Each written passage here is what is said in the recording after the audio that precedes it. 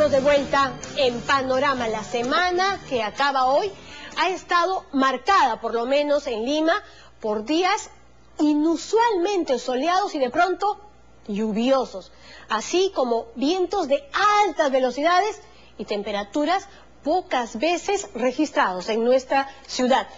Por estos y otros sin número de hechos, según los expertos, estaríamos ya ante la presencia de un fenómeno del niño que para muchos no sería lamentablemente moderado, sino más bien un niño que podría tener las características de un niño fuerte, similar al de 1998. ¿Qué estamos haciendo frente a esta amenaza? Amenaza además corroborada por IMARPE, por CENAMI, ENFE y también el NOAA, que es este sistema estadounidense de monitoreo mundial de océanos y atmósfera. Y también lo dicen especialistas de la NASA. Las respuestas con Vicky Zamora. En marzo, una inquietante mancha roja fue el primer reporte del calentamiento del Océano Pacífico. Era el anuncio de que el fenómeno del niño llegaría este año a las costas de América. O sea, todo esto va desde Tumbes hasta Ica, básicamente. La influencia de este calentamiento es de Tumbes hasta la costa central. ¿Y podría extenderse, podría llegar hasta Tacna? Si es que los sistemas atmosféricos lo permiten. Llegada del niño ha sido ratificada por diversas instituciones especializadas, tanto nacionales como internacionales. We can't yet say for sure that an El Nino will develop in 2014. Desde fines del mes de abril ya tenemos el calentamiento. Se está con temperaturas del nivel del mar muy por encima de lo tradicional. Hay zonas del mar que tienen hasta 5 grados por encima. Para los meses de junio y julio, la Organización Meteorológica Mundial previó un niño entre moderado y fuerte. Los primeros efectos han comenzado a sentirse en la industria pesquera. En el sector pesquero, como te digo, el fenómeno del niño es aterrador. Como estamos enfocados netamente al tema de la anchoveta, obviamente afecta. Afecta a la anchoveta y afecta a toda la industria, ¿no? Y eso significa pues desempleo, pérdidas, divisas y todo lo que relacionado a lo que es la parte económica. Este es uno de los fenómenos climáticos previsibles que más daño ha causado a nuestro país.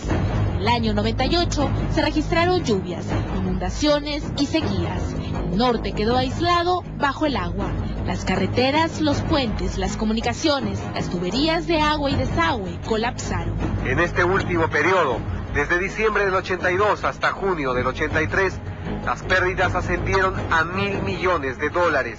Este es un fenómeno que afecta la pesca, la agricultura y la infraestructura, por lo que las consecuencias no solo son sociales, sino también económicas. La pesquería explica el 8% de las exportaciones. Lo que está en juego eh, son 500 millones de dólares de exportaciones. Millones en pérdidas, en momentos en los que se busca reactivar la economía del país.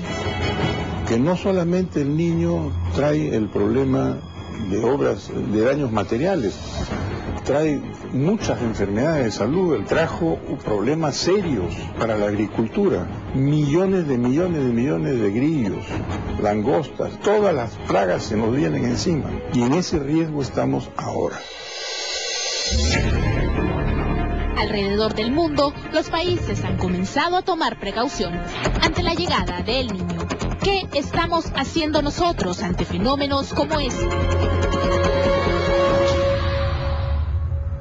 El clima del planeta es modulado por lo que pasa en los océanos.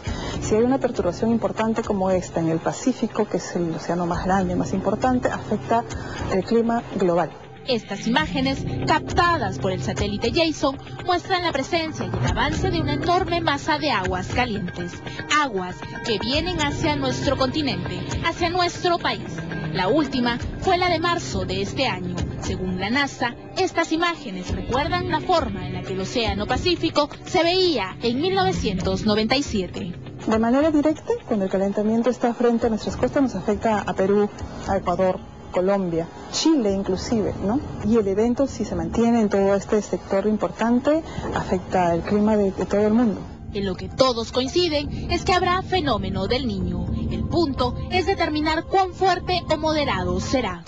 Yo creo que aquí hay un tema de conducción y de altísima prioridad, porque un daño en su conjunto puede tirarnos abajo de 1 o 2% del PBI del país, lo cual sería una grandísima pena después de haber avanzado todo lo que hemos avanzado, retroceder de esa forma. ¿no? ¿Cuáles son los sectores más afectados a raíz del niño? La infraestructura terrestre, la agricultura de la costa y la pesca, porque se va a bajar por lo menos al 50% lo que normalmente pescamos. Desde abril se ha sentido un cambio de temperatura en el mar frente a nuestra costa. Corrientes de agua caliente ya han comenzado a llegar. O sea, todo esto va desde Tumbes hasta Ica, básicamente. La influencia de ese calentamiento es de Tumbes hasta la costa. ¿Y podría extenderse, podría llegar hasta Tacna? Si es que los sistemas atmosféricos lo permiten. La intensidad del fenómeno del niño se registra no solo en el cambio climático, sino también en las grandes pérdidas económicas que podrían significar en el país. La historia del Perú reporta que hubo niños catastróficos que significaron grandes pérdidas económicas, pérdidas que estamos a tiempo de prevenir. ¿Hay maneras de prevención? Sí, en el escenario de que sea un niño catastrófico como el del 98. ¿Por dónde vienen los daños? El primero, infraestructura. O sea, carreteras, líneas de comunicación, pistas, líneas de agua, desagüe. Entonces, primero hay que atender a la población. Si los sistemas de agua y desagüe en, la, las ciudades y poblados de la costa norte no van a funcionar, yo quiero tener un stock masivo de pastillas pequeñitas de cloro con envases para repartir a la población para que tomen agua autopurificada. Vamos a necesitar puente aéreo. Acuérdate que la carretera panamericana estuvo cortada más de 100 días en el 98. Puente aéreo para medicinas. En el año 98, el niño afectó 41 países y el Perú no fue la excepción. El norte del país quedó bajo el agua. Tumbes y Piura sufrieron desabastecimiento de alimentos. Se registraron inundaciones, plagas, epidemias, pérdidas en el agro y en el sector pesquería. Costa, sierra y selva sufrieron las consecuencias. Los de Lima, los de la costa, siempre pensamos en el niño como lluvias en exceso en el norte. Pero no pensamos en que hay normalmente en niños pasados ha habido un correlato de sequía en el sur andino. Si hay sequía, eh, ahí sí se genera un problema importante, porque el ganado y la actividad ganadera ahí es muy importante, este, llamas, alpacas, ovejas, está saliendo de un invierno donde normalmente pierden peso, se adelgaza, el ganado está débil y está esperando con ansias que en octubre vengan las lluvias, vengan los brotes de pasto y el ganado pueda recuperarse en peso y en salud. Si entramos a la sequía en un eventual niño con ganado debilitado por el invierno. ¿Serían ellos los que más sufrirían? Por su condición de ser grupos vulnerables, en algunos casos de extrema pobreza, y por su condición de no tener acceso a otras herramientas. Las pérdidas ante un eventual niño catastrófico son grandes.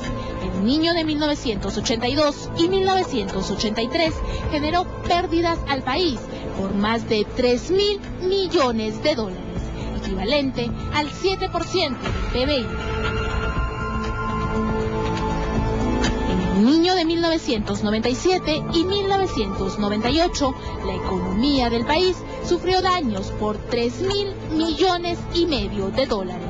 Hasta ahora, la Organización de Meteorología Mundial ha estimado la presencia de un niño moderado a fuerte. El Ministerio de Economía, sin embargo, ha anunciado ya que de registrarse el fenómeno del niño de carácter fuerte, la economía nacional se desaceleraría. El crecimiento del país no sería del 6% como en años anteriores, sino del 3.5%, siendo el sector pesquero la industria más afectada. Digamos, la principal pesquería del Perú es la anchoveta y esa es la que vería afectada. Hay zonas del mar que tienes hasta 5 grados por encima. La anchoveta ya viene sintiendo eso desde fines de abril y por eso, insisto, se ha pegado a la costa. Y ahí donde está, entre las millas 5 y 10, ahorita no se puede capturar. Las normas establecidas para la pesquería no contemplan situaciones excepcionales como la llegada del fenómeno del niño. La ley actual establece que la gran industria solo puede pescar anchoveta a partir de las 10 millas. Sin embargo, en situaciones como esta, el clima del mar cambia. La anchoveta, al sentir las aguas calientes, se pega a la costa y se profundiza en el mar hasta hallar aguas frías. Hoy el cardumen se halla en zonas donde las leyes no permiten pescar. En el sector pesquero, como te digo, el fenómeno del niño es aterrador. Como estamos enfocados netamente al tema de la anchoveta, obviamente afecta. Afecta a la anchoveta y afecta a toda la industria, ¿no? Y eso significa pues desempleo, pérdidas, divisas y todo lo que relacionado a lo que es la parte económica. La industria no es la única afectada por el cambio en el clima. Los pelícanos y las aves piqueras también. En las últimas semanas, a lo largo de nuestro litoral se ha visto aves languideciendo por falta de alimento. Esperamos en los próximos días una decisión que permita acercarnos para la pesca donde está el recurso entre las 5 y las 10 millas. De lo contrario, el año va a ser un año muy malo, lo cual se sumaría a años malos que venimos por distintas razones climáticas y también regulatorias. O sea, ¿sería una norma excepcional por este tema? Así es, lo que está en juego eh, son 500 millones de dólares de exportaciones. ¿500 millones de dólares? Así es. Estamos en un momento que todos tenemos que apuntalar a la reactivación económica, a, la- promover las exportaciones que permitan que el Perú recupere el sitial expectativo, prometedor que tenía.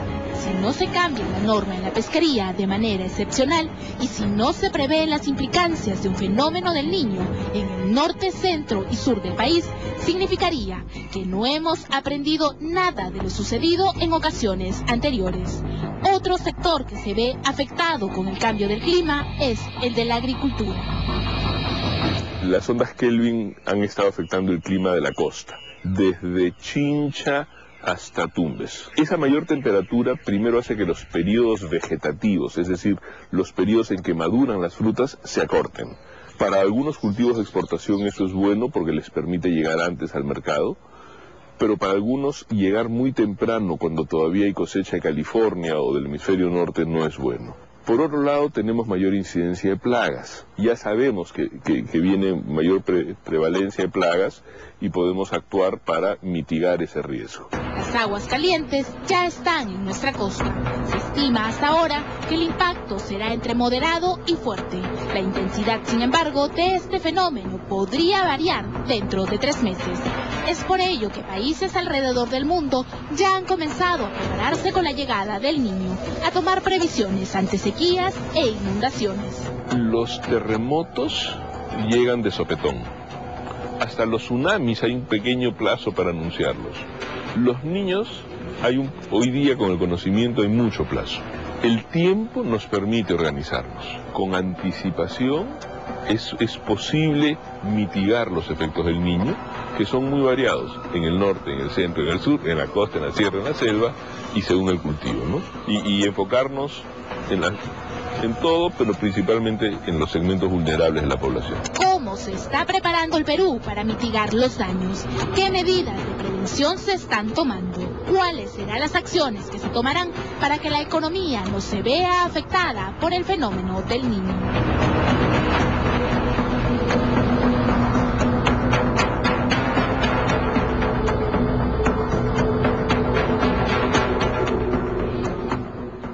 La amenaza es sumamente seria, según el marco macroeconómico multianual 2015-2017, que es una publicación hecha por el Ministerio de Economía y Finanzas, se señala que de producirse un niño de carácter fuerte, la economía, escuchen bien, crecería solo 3,5% al año y que señala también que el sector pesquero podría tardar hasta tres años en recuperar su nivel de precio. Eso según el MEF.